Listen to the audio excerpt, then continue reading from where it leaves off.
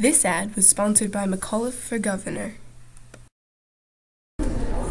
Did you know Cuccinelli tried to pass legislation that would allow managers to fire their employees solely because they don't speak English?